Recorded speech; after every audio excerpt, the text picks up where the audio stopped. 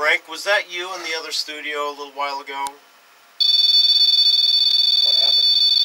Oh. What? There was an orb or something. Yeah, we had something. Were Were you the one that was touching that other thingy, making it go off by the light?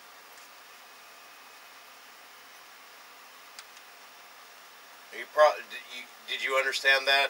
No. Okay. But you were out in the other studio with us tonight, weren't you?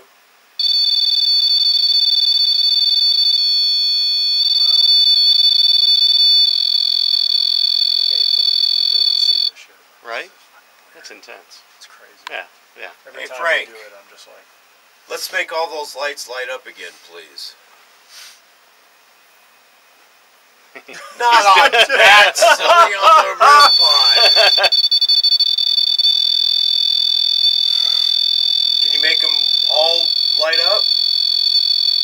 He's trying. Are you getting tired, Frank?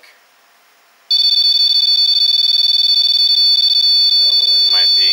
rejuvenate a bit. Yeah. Frank, I'm going to let you rest for a while, okay?